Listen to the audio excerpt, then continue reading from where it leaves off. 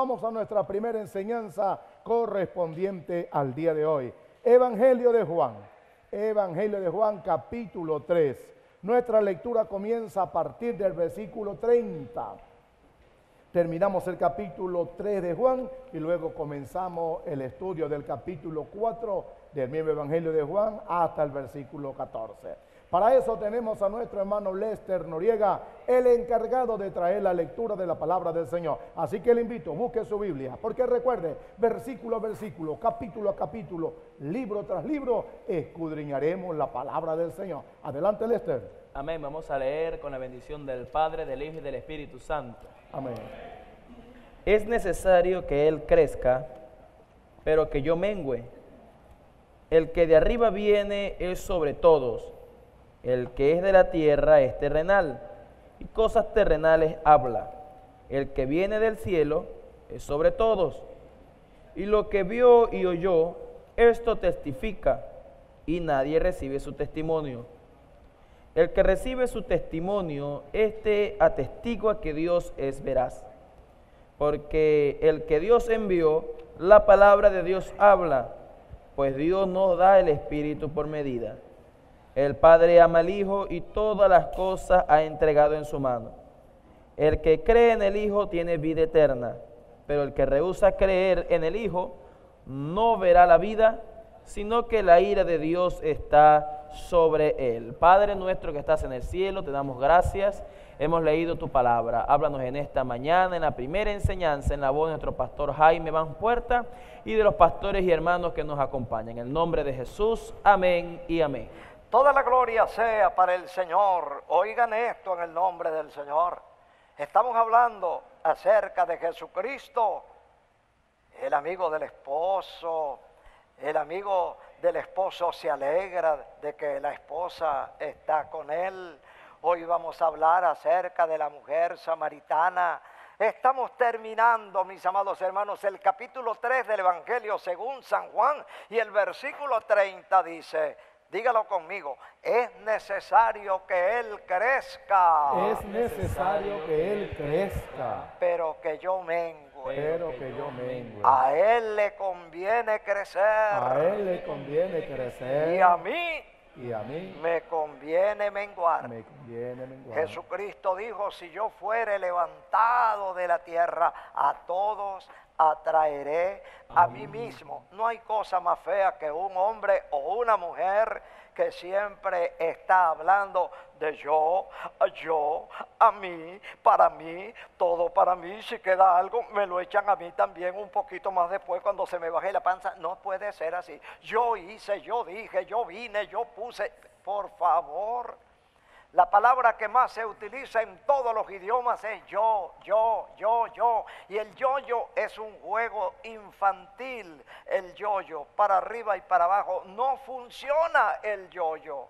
No hay cosa más desagradable y chocante que una persona ensimismado que solamente piensa en yo, en mí, lo mío, lo me... No puede ser. Juan el Bautista dijo, a él le conviene crecer y a mí me conviene menguar. Cuando levantamos a Jesucristo, cuando nos olvidamos de nosotros, cuando le damos la gloria al Padre, Él se encarga de traer las multitudes. Él trae los guerreros de oración para que llenen el cielito. Qué lindo se ve el cielito hoy con ese poco de gente uniformada. Parecen ángeles del cielo. Que Dios les bendiga. Guerreros de oración, que Dios les bendiga. Diga conmigo, mis amados hermanos, versículo 31 el que de arriba viene, el, que de, arriba viene, es sobre todo, es sobre, todos. El que es de la tierra, el que es de la tierra, es terrenal, es terrenal. Y cosas terrenales habla. Y cosas terrenales habla. ¿De qué hablan los borrachos? Del aguardiente. ¿De qué hablan los drogadictos? De la droga. ¿De qué hablan los, los comerciantes? Del comercio. Los deportistas. Deporte. Los militares. de la milicia. El que viene de arriba es sobre todo. Ese está sobre los militares, sobre los comerciantes, sobre los médicos, Amén. sobre los abogados. El que viene de arriba se llama Jesucristo. Ese es el que va a venir de arriba a recoger a los creyentes. Así como entraron los creyentes en el barco de Noé, así los creyentes entraremos a la patria celestial, celestial donde hoy está el Padre, el Hijo, el Espíritu Santo, allí están los ángeles, están los redimidos. Jesucristo le dijo a un tremendo malandro que creyó en él en la cruz del Calvario, le dijo, de cierto, de cierto te digo que hoy mismo estarás conmigo en el paraíso. El que viene de arriba es sobre todo. Oiga bien, el que viene de arriba es sobre todo. Amén, amén. Y lo que vio y oyó, lo que vio allá arriba, lo que oyó allá arriba, de esto testifica. Y dice aquí que nadie recibe su testimonio. ¿Quién es nadie? Nadie son los incrédulos, nadie son los burladores, nadie son los pecadores. Nosotros no somos nadie, nosotros somos los hijos de Dios. Nosotros sí oímos la palabra de Dios. La Biblia dice que el que es de Dios, La, La pa- palabra de Dios oye. la palabra de Dios oye. El que no es de Dios, no, no la oye la palabra. no la oye. Nosotros sí oímos la palabra de Dios. Versículo 33. Hermano Henry, ¿cómo dice el 33? El que recibe su testimonio, este atestigua que Dios es veraz. ¿Por qué? Porque Dios no da su espíritu por, Por medida. medida. Diga conmigo, porque el que porque el que Dios envió, Porque el que Dios envió, las palabras de Dios habla. las palabras de Dios habla. Pues Dios Pues Dios no da su espíritu no da su espíritu por medida. por medida. Dios no tiene un gotero para darle a usted tres goticas del Espíritu Santo. No, el Señor nos inunda, nos llena por dentro y por fuera. Cuando usted se afloja en las manos del Señor, mire, es como cuando se, so- se zumba el sapo en el agua. ¡Guau! ¿Qué más quiere el sapo que vivir dentro del agua? Cuando usted se rinde en las manos del Señor, usted comienza a disfrutar la nueva vida. Aquellas preocupaciones que me pueden secuestrar, que me van a hacer esto, que me van a echar brujería, todo eso queda en el basurero del olvido. El que está en Cristo es una nueva criatura. El que está en Cristo vive con la mente en positivo. El que está en Cristo piensa en el cielo, se deleita en la palabra de Dios. Por donde quiera que va es contando las maravillas de Dios. Anoche estábamos viendo, amados hermanos, el resumen de la gira venezolana Cristo Sana la gente levantándose de las sillas de ruedas. 14 paralíticos dejaron las sillas de rueda vacías. Hermano, eso es algo muy grande. Aquí viene el médico y nos da consejos médicos, pero mire, por muy médico que sea, él no puede sanar a 14 paralíticos de un solo tiro. No, hombre, mire, eso es mucha la inyección que llevan por aquí por detrás. Eso son Eh. inyecciones, inyecciones, inyecciones. ¿Y cómo te sientes? Un poquito mejor. ¿Y cómo te sientes? Un poquito mejor. Un día viene y un poquito mejor está tieso, se murió. ¿Y qué le pasó? No, se murió. Pero ¿qué pasó si estaba un poquito mejor? Un poquito mejor, yo te aviso. Hermano, pero cuando Cristo sana, sana de verdad. Yo dije que vamos a hacer una oración por la abuela para que el Señor le ponga la barriga flojita, flojita. Ya se le aflojó la barriga a la abuela. Amén. Levanten la mano, digan conmigo, gracias Padre. Gracias, Padre, Porque tú porque tú no nos das el Espíritu por medida. no nos das el espíritu por medida. Toque de queda. Toque de queda. A ese estreñimiento. A ese Y en estreñimiento. el nombre de Jesús. Y en el nombre de le Jesús. aflojamos La aflojamos. barriga. La barriga. A la abuela. A la abuela. De aquí en adelante. De aquí en adelante. Será como una vaca. Será como una vaca. Flojita, Flojita. flojita. La aflojó el Señor. La aflojó el Señor.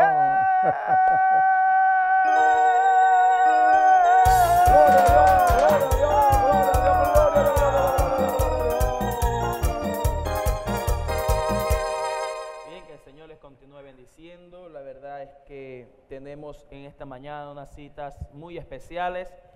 Estamos hablando del que viene de arriba y sobre todas las cosas. Me corresponde el verso 35 y 36. Dice que el Padre ama al Hijo y todas las cosas ha entregado en su mano.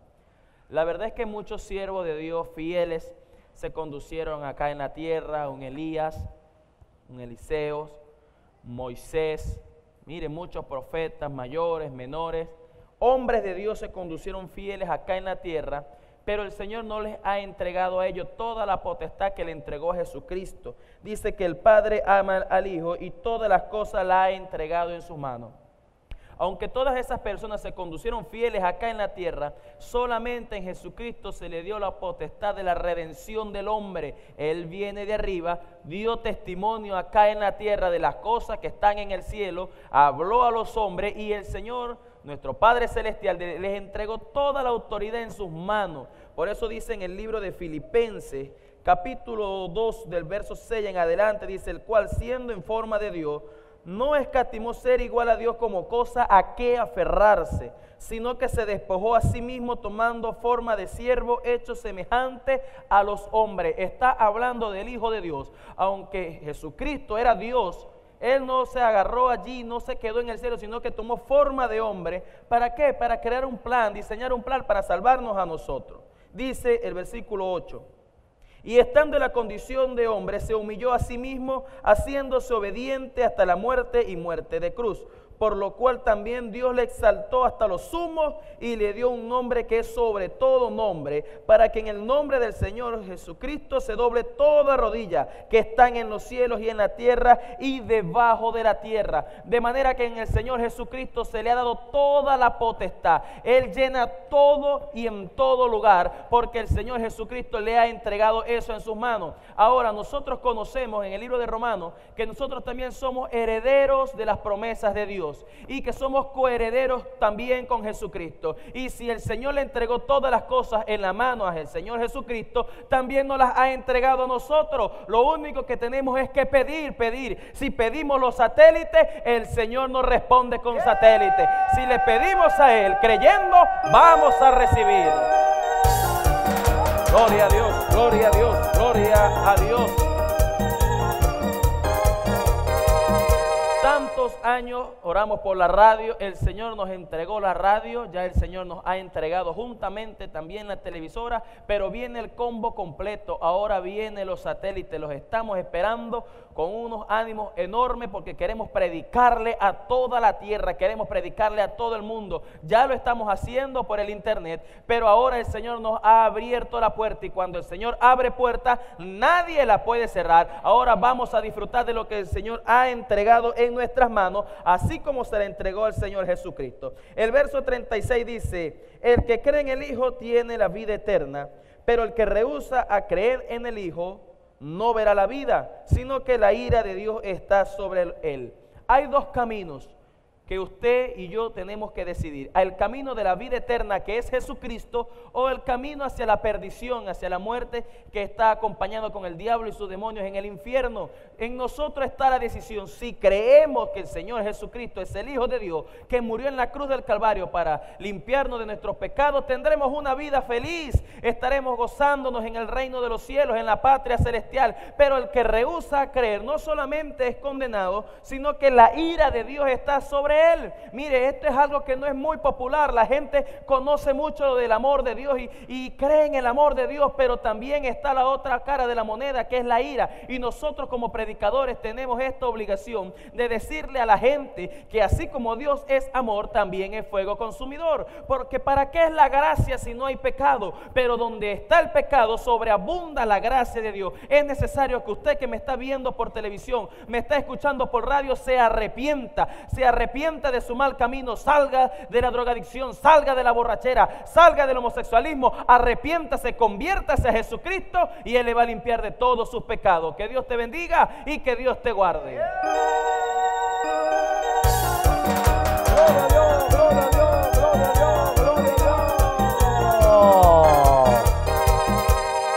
Estamos contentos. Comenzamos el capítulo 4 del Evangelio según San Juan.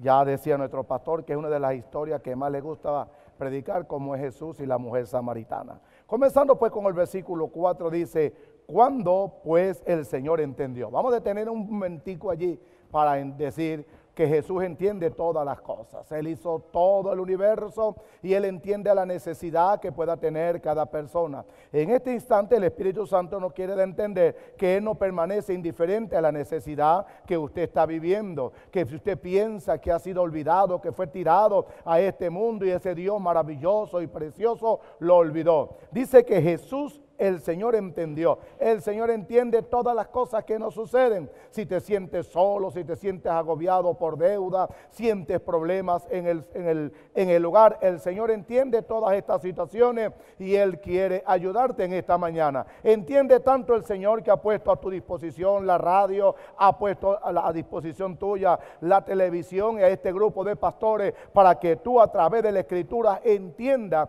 que Él está interesado en ti como también lo ha estado interesado en nosotros y sigue inter- interesado en nosotros porque Él entiende todas las cosas. Por eso es que cuando el Señor entendió que los fariseos habían oído decir, que habían oído decir? Que Jesús hace y bautiza más discípulos que Juan. Veamos esta, esta condición de esta vida que estaba viviendo el Señor para dejarnos una gran enseñanza. Jesús oyó los comentarios que ya los, los fariseos habían oído. ¿Cuál era el comentario que andaba de boca en boca entre los fariseos? Mira, mira, la gente ya no va por donde está Juan el Bautista. La gente ya no va por donde está el, eh, el hombre que se viste de piel de camello. Ahora la gente bien, andan detrás de Jesús. Y no solamente andan detrás de Jesús porque Él hace y bautiza más que Juan.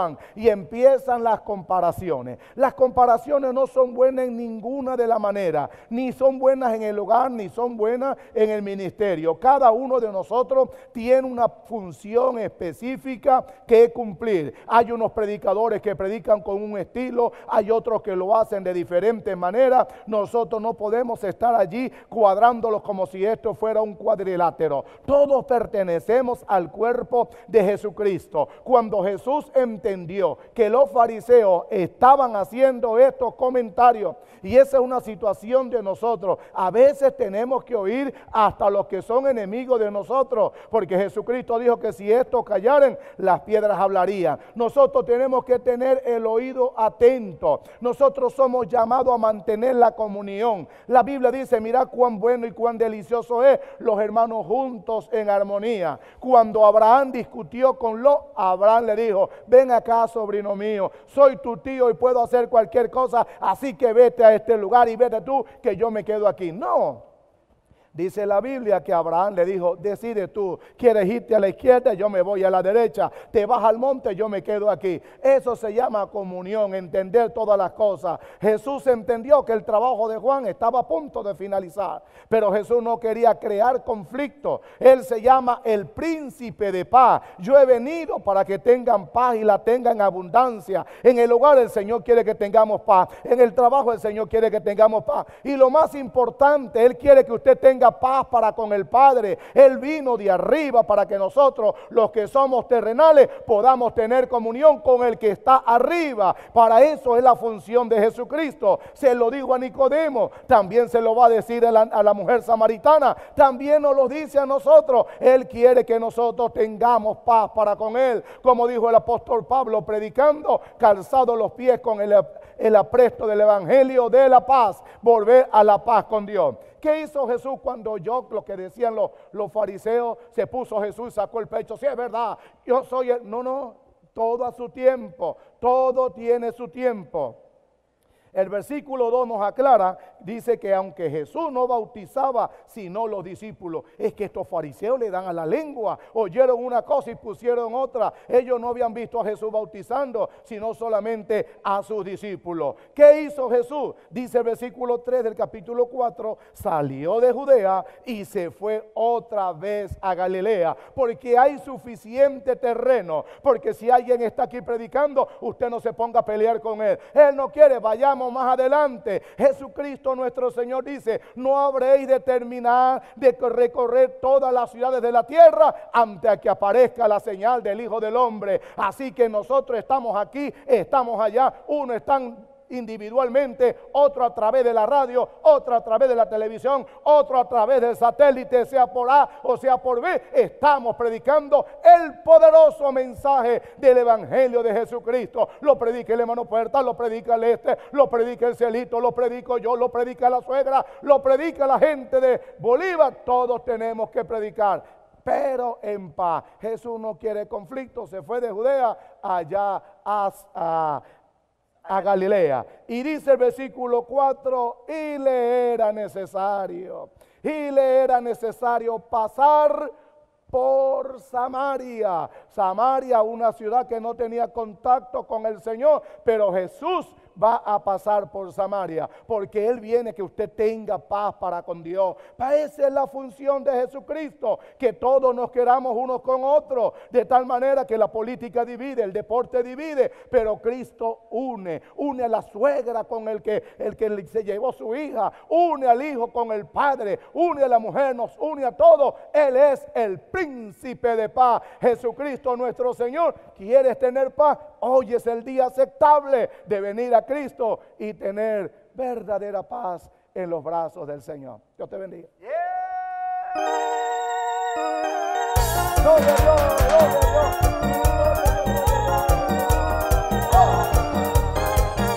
Amén. Ok, vamos a disponernos ahora a escuchar la conclusión de este matutino. Voy a invitarle a que usted tome su Biblia y la abra en el libro de Filipenses capítulo 1, libro de Filipenses, capítulo 1. Vamos a estar estudiando el verso 16 y 17. Tenemos a nuestro hermano Jefferson con la lectura y en la predicación nuestro hermano Jaime Banks Puerta, fundador y director internacional de la obra evangélica Luz del Mundo. Adelante, hermano Jefferson. Leemos de la siguiente manera, dice, los unos anuncian a Cristo por contención, no sinceramente, pensando añadir aflicción a mis prisiones pero los otros por amor, sabiendo que estoy puesto para la defensa del Evangelio. Oremos, Padre de la Gloria, en el nombre de Jesús. Gracias por la conclusión de este matutino. Glorifícate de una manera poderosa y especial. Utiliza a nuestro hermano Puerta, Padre, en la conclusión de este día. En el nombre de Jesús. Y nosotros decimos... Amén. Estamos hablando del tema, para mí el vivir es Cristo. Ese es el título de la lección. El apóstol Pablo vivía para Dios. Todo su pensamiento estaba cifrado en la eternidad, vivir con el Señor para siempre.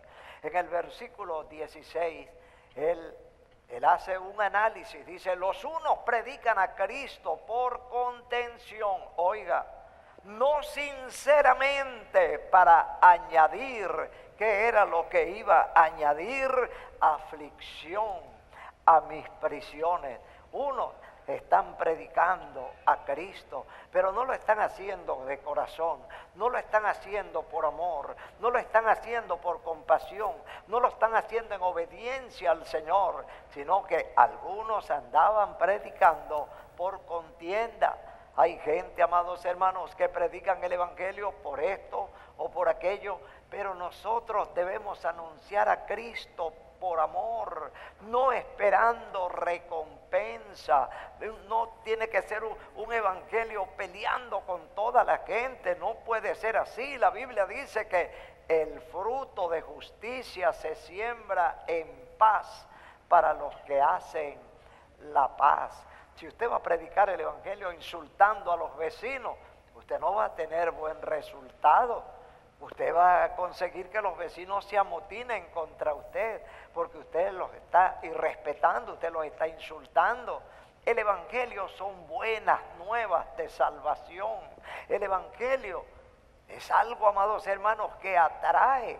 El Evangelio no es un repelente, no es un mapurite que espanta a la gente. No, el Evangelio es luz, el Evangelio es amor, el Evangelio es poder, el Evangelio es sabiduría, el Evangelio es ciencia, el Evangelio es discernimiento, el Evangelio es amor, es gozo, es paz. Los frutos del Espíritu están concentrados en el Evangelio de Jesucristo. Un amor tan grande que va más allá de los familiares, más allá de los amigos, más allá de los conocidos, envuelve aún a los enemigos. El ejemplo de Jesucristo en la cruz del Calvario.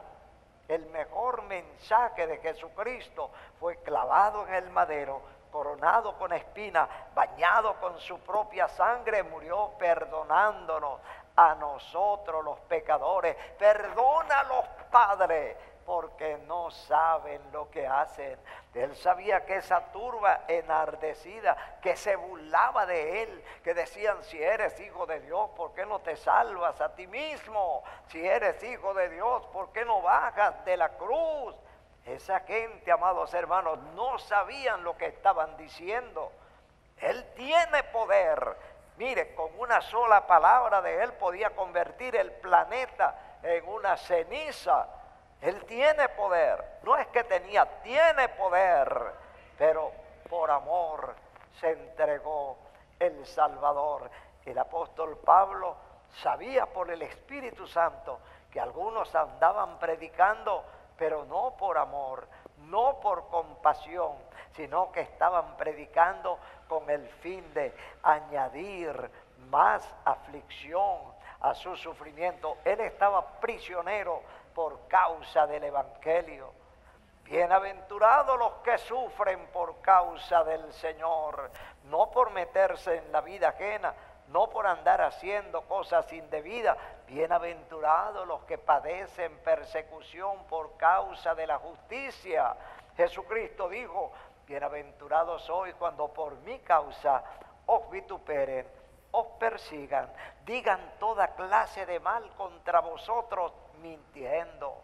Alegraos y gozaos, porque vuestro galardón es grande en los cielos, porque así persiguieron a los profetas que fueron antes de vosotros. Pero ay de vosotros cuando toda la gente hable bien de ustedes. Ay de vosotros, porque así hacían vuestros padres con los falsos profetas. Si usted es perseguido, es aborrecido por causa del Señor, no se amilane, no se sienta triste, no piense que debe retroceder. Voy a colgar los guantes. ¿Cuáles guantes va a colgar? Ahora es cuando tiene que ponerse las botas para seguir adelante, porque esos sufrimientos, esas persecuciones, esas murmuraciones, esas difamaciones, esas calumnias, son tu galardón. Eso es lo que te identifica como verdadero hijo de Dios. ¿No persiguieron a Daniel? Sí, hasta el foso de los leones lo echaron, pero él no estaba desesperado ni pensando. Tremenda cosa que hice con este asunto. Mire, me han echado con los animales. No, Dios lo tenía allí para un testimonio. Lo más grande de Daniel no es su profecía ni el libro de Daniel, sino haber pasado una noche en medio de los leones y Dios demostrando su poder, envió su ángel, le tapó la boca, salió de allí victorioso, se acabaron los enemigos, todos sus enemigos fueron consumidos se los comieron los leones y a Daniel no se lo comieron. ¿Por qué? Porque Dios hace diferencia entre el justo y el malvado. Pablo estaba prisionero y sabía que andaban algunos por allí predicando, pero no para que se salvaran las almas, sino para que a él lo condenaran, para que la pena fuera más grande. Predicaban como algunas personas que andan con un maletín por allí tocando las puertas, pero no están presentando el Evangelio de Jesucristo. ¿Cuántas personas inventan sus falsas doctrinas? pero su fin es perdición. Versículo 17. Diga conmigo, los unos predican por amor. Los unos predican por amor. Sabiendo, sabiendo que estoy puesto, que estoy puesto para defensa del Evangelio. Aunque algunos predican por contienda, otros predicamos por amor. Amor al Señor, amor a las almas amor, amados hermanos, a la palabra del Señor. Él nos dio la orden, ir por todo el mundo y predicad el Evangelio a toda criatura. El que creyere y fuere bautizado será salvo, mas el que no creyere será condenado. Predicamos por amor, para que las almas vengan a los pies de Jesucristo. ¿Y sabe lo que hacemos al final de estos matutinos? los entregamos a todos, a todos los entregamos al Señor. Si hay un millón de personas que nos están oyendo, entregamos a un millón y una persona. Esa persona es su servidor, el que está predicando. No queremos que nadie se pierda, sino que todos procedan al arrepentimiento. Mi pregunta es esta está predicando usted la palabra del Señor por amor, pues que Dios le bendiga. Nos veremos en la patria celestial. Si no tengo el privilegio de encontrarme con usted de este lado de la eternidad, me voy con la esperanza de encontrarnos en el reino de los cielos. ¿Estás de acuerdo, cielito? Amén.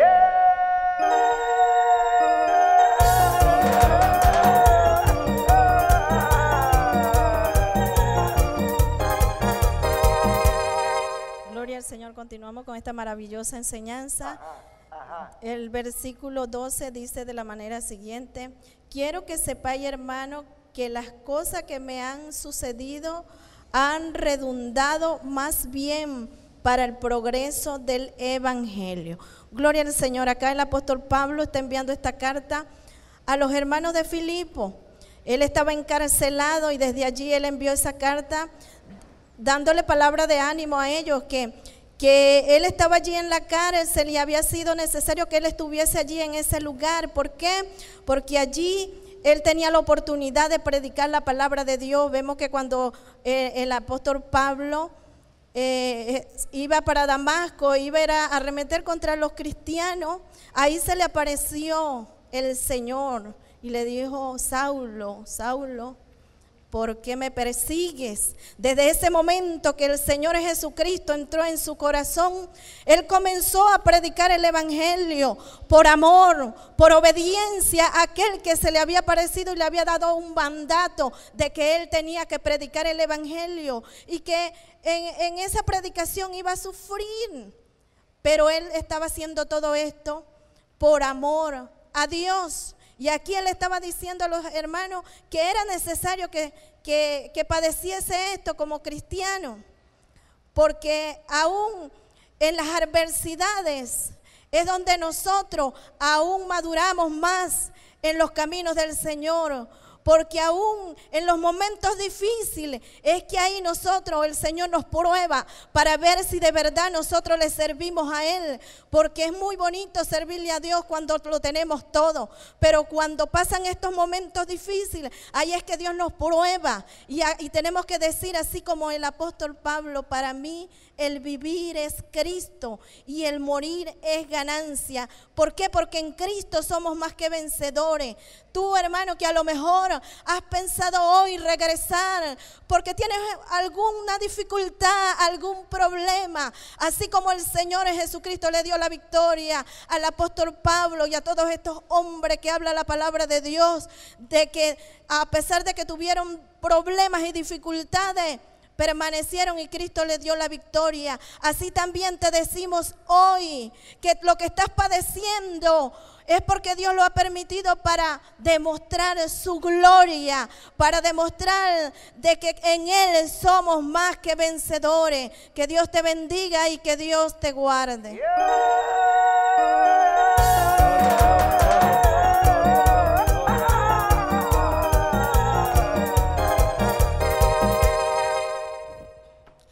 Dios nos di- bendiga, el Señor nos guarde. Amén. A mí me toca El versículo 13 dice así, de tal manera que mis prisiones se han hecho patentes en Cristo, en todo el pretorio y a todos los demás. ¿Verdad? Aquí nos dice que Pedro, ¿verdad? Hablándole a los efesios, recordándole, ¿verdad? De la manera en cual estaban predicando, ¿verdad?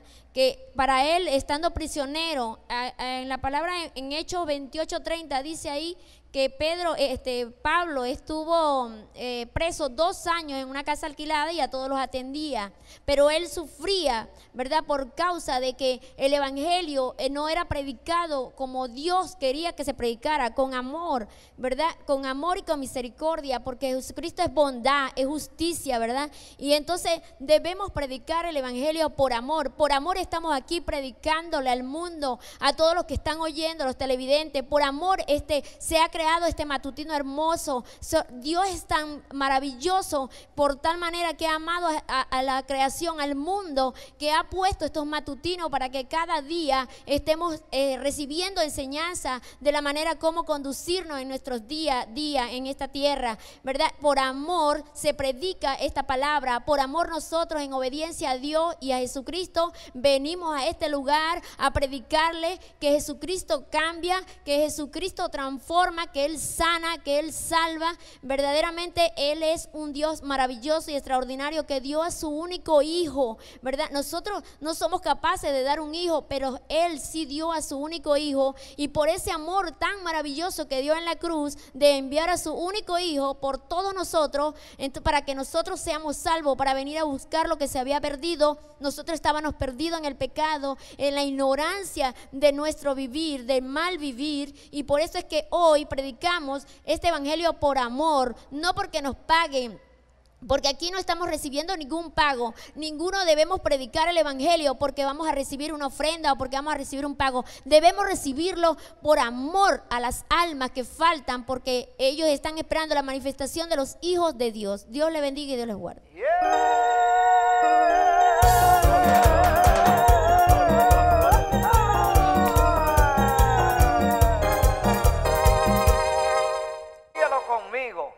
Amor se entregó el Salvador. Por amor, Por amor se entregó el Salvador. De tal manera amó Dios al manera amó Dios al mundo que dio a su único hijo que dio a su único hijo para que todo aquel que en él para cree que todo aquel que en él cree no se pierda, no se pierda, mas tenga mas tenga vida vida vida eterna. eterna.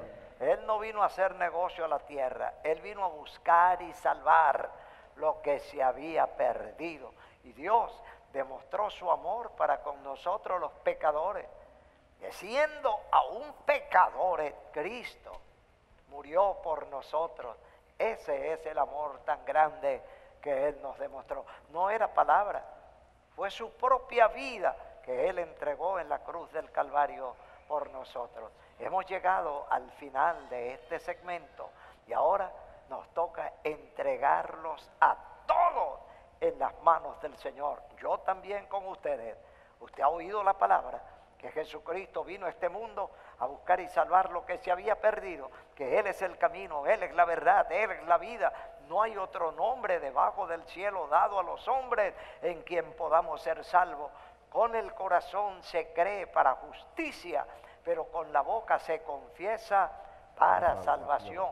Los demonios creen, el diablo cree y tiemblan delante del Señor, pero no confiesan a Jesucristo con su boca como su Salvador personal. Nosotros en este momento con ustedes vamos a confesar a Jesucristo. Aviéntese la mano sobre el corazón, incline su cabeza conmigo y oremos al Señor.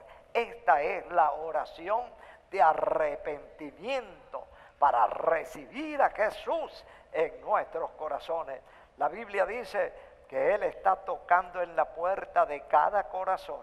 Él está llamando, Él quiere entrar para salvar tu alma, para lavar tus pecados con su propia sangre. Ahora diga conmigo y dígalo fuerte, diga, Dios mío. Dios mío. Más fuerte, Dios mío. Dios Dios mío. En este momento, En este momento. este momento, humilde como un niño, Humilde como un humilde como niño. un niño, yo vengo a ti, Señor, yo vengo a ti, Señor. a pedirte el perdón a pedirte el perdón de todos mis pecados. de todos mis pecados. Yo confieso con mi boca Yo confieso con mi boca que soy pecador. que soy pecador. He desobedecido a tu palabra. He desobedecido tu palabra. He hecho lo malo. He hecho He lo hecho malo. lo No he honrado a mis padres. No he honrado a mis Por eso arrepentido Por eso arrepentido. te pido perdón. pido Te pido perdón. perdón. Señor Jesús, Señor Jesús, tú moriste por mis Tú pecados por moriste mis en la pecados. pecados. cruz del En Calvario. la En cruz la del Era Calvario. yo quien debía morir. Era yo quien debía morir. Ocupaste mi lugar. Tú ocupaste mi lugar. Lavaron tus manos. Lavaron tus manos. Lavaron tus pies. Lavaron tus pies. Traspasaron tu costado. Te coronaron con espina. Coronaron con espina. Bañado con tu propia sangre. Moriste perdonando. Perdona a los padres. Porque no saben lo que hacen. Hoy Hoy recibo tu perdón. Recibo tu perdón. Te recibo a ti Te recibo a ti. como a mi Salvador. mi Salvador. Señor Jesús, Señor Jesús. Tú resucitaste al tercer día. Subiste a los cielos. Subiste a los cielos. Estás preparando un lugar para nosotros los creyentes que recibimos a Jesús en nuestro corazón. como nuestro Salvador personal. Nuestro Salvador personal. Señor Jesús, Señor Jesús. entra en mi corazón. Entra en mi corazón. Quédate en mi corazón Quédate en mi corazón. para siempre. Para. Escribe mi nombre Escribe mi nombre en el libro de la vida. Yo no quiero perderme Yo no quiero en ese infierno terrible. Yo quiero ir al cielo Yo Quiero ir al al y cielo vivir contigo eternamente y para siempre. en la patria En la celestial. patria celestial. Señor Jesús, Señor Jesús. salva mi familia, Salva mi Salva mi familia. salva mis amigos, Salva mis amigos. injértame Injértame. en la familia de Dios. la familia de Dios. Dame el gozo de la salvación. Dios mío, Dios mío. recíbeme como tu hijo.